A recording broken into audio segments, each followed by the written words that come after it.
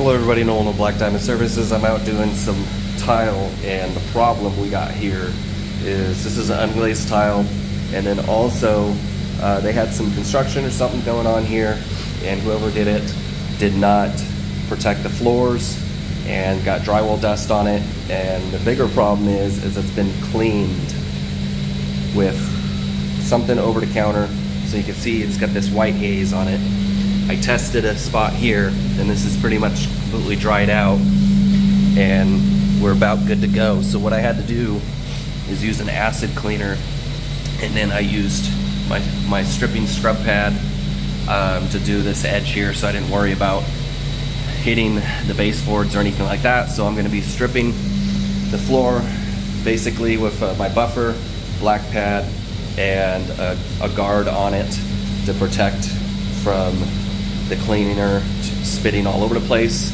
And then I'm gonna neutralize it and rinse it off afterwards. Because this seems to be what's doing the trick.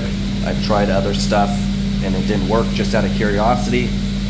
Uh, but the acid is what's doing the the deal here. So I'm gonna go ahead and get this started. I'm gonna do all the outside first. All right, so next step, strip the floor, with the buffer pad and the acid cleaner.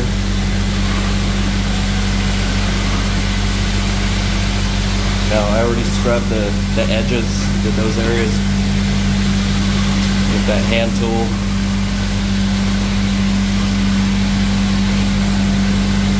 You can see I got a guard on the outside of the buffer here to help protect myself from the cleaner being flung around so it helps keep it contained.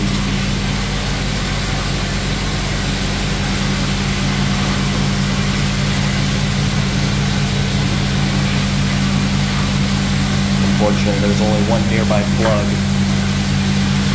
in this area so after I'm done I'll have to wipe off my power cable here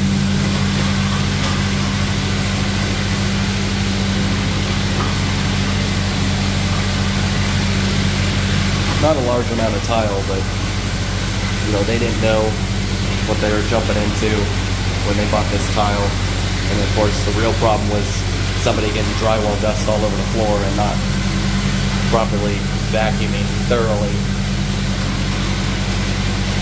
wetting it, causing that white haze to happen.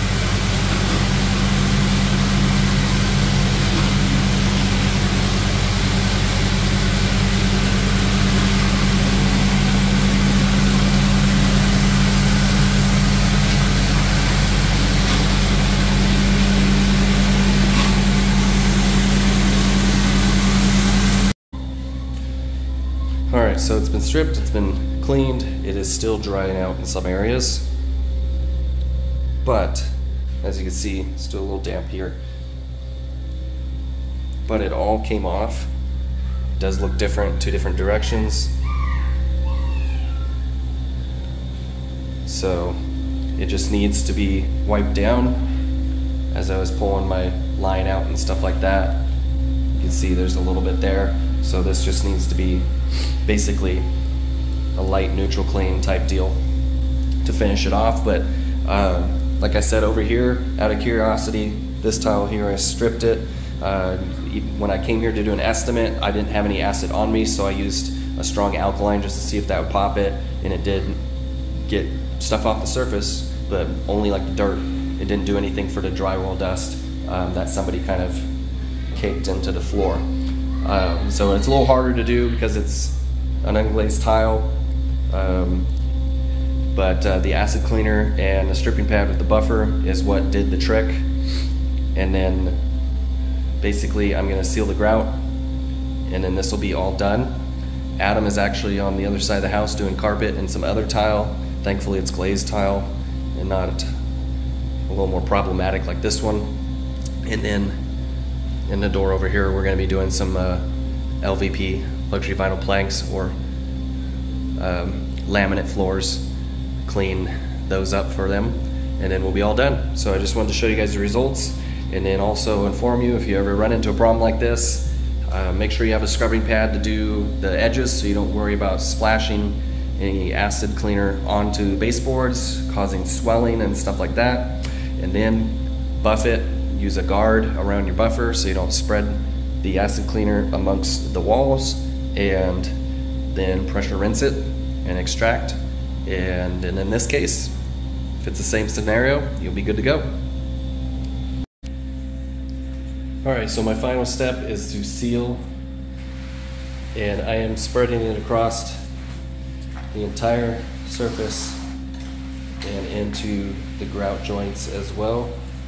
I applied some sealer on the floor on the outer sides and then bolts pulling it into the tile and the, mainly for the grout. So I've already test cleaned and test sealed one area so I know how it's going to respond and I had no issues with doing it this way as the tile seemed to do just fine just like I said it earlier in the video it needed an acid rinse to get everything off of it so I wish it was going to have this kind of a little bit of a wet look, but it, it will dry out and look as it did earlier after the cleaning. Personally, I kind of like the darker look that it gives you, which you could accomplish that if you use an enhancer sealer. I'm sure it would give it that more wet look. I don't typically like to apply those. I just use solvent sealer and that does the trick for all jobs that I need to do. If they want a wet look, it's usually a stone, uh, more glossy look, so I usually suggest doing the uh, polishing, give it a natural shine rather than put a coating on it and have to potentially strip that off later on. So this is the end result. Um, like I said, it'll dry and it'll go back to its normal kind of rustic look, which was what they were going for when they had this floor installed. Just unfortunately, somebody got drywall dust all over it and caused a big problem, but I'm glad I was able to fix it for her. That way they can have their floor back to normal and then um, hopefully it'll get cleaned periodically, once a week I would say, neutral cleaned, and then have us out to professionally clean it about once a year maybe sooner because there is a lot of pets, uh, but we'll see. I told her try for a year. If it looks like it's getting bad sooner, then give us a call. So hopefully this has been informative for somebody, or at least cool to see.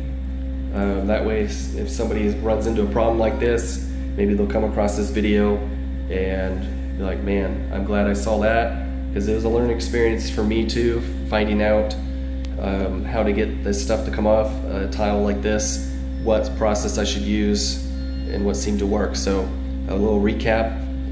I, uh, of course, vacuumed the floor first, and then I applied a acid cleaner.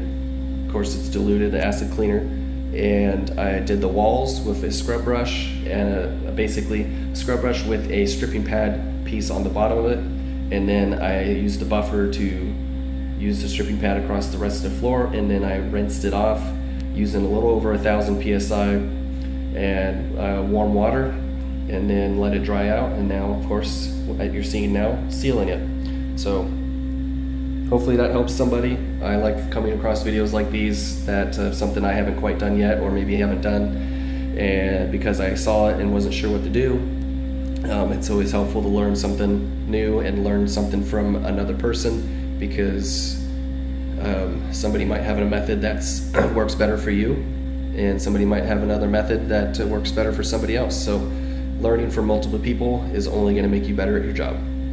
So thank you so much for watching. Hope you enjoyed this. See you in the next one.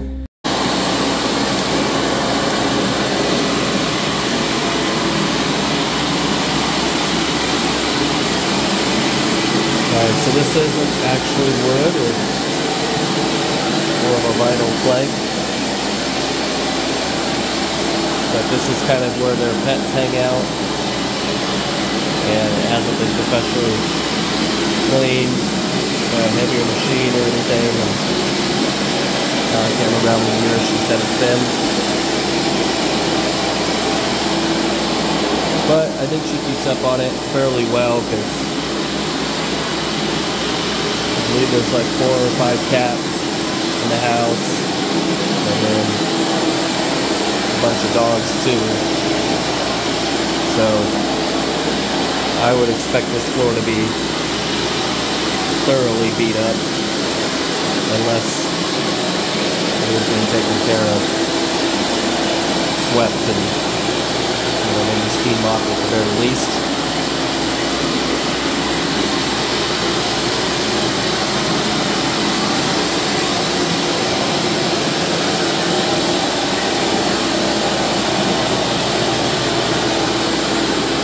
So I'm running, this is called a Dirt Dragon.